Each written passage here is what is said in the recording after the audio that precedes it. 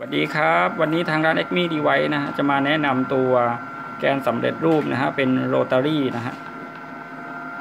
โรตารี่นะฮะลักษณะนี้นะฮะอัตราทดอยู่ที่ 54 ต่อ1นะครับ diameter ของจานตัวนี้อยู่ที่ 153มิลนะฮะหรือประมาณ 15 เซนครึ่งนะ diameter เส้นผ่าศูนย์กลางตัวนี้นะครับ ความหนาก็อยู่ประมาณ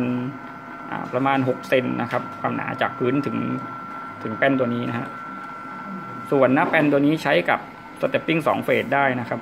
จะลงเป๊ะกับ stepping สองเฟสเลยนะครับอ่าส่วนเพลาที่เข้ากับตัวเฟืองเนี่ยจะเป็นเพลาหกมิลนะครับ จะลงตัวพอดี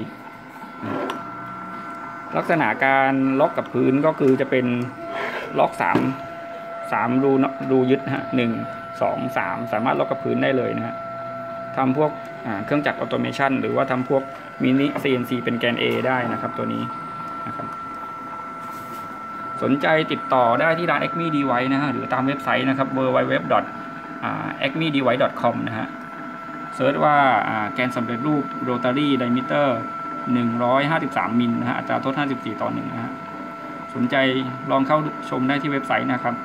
ขอบคุณครับ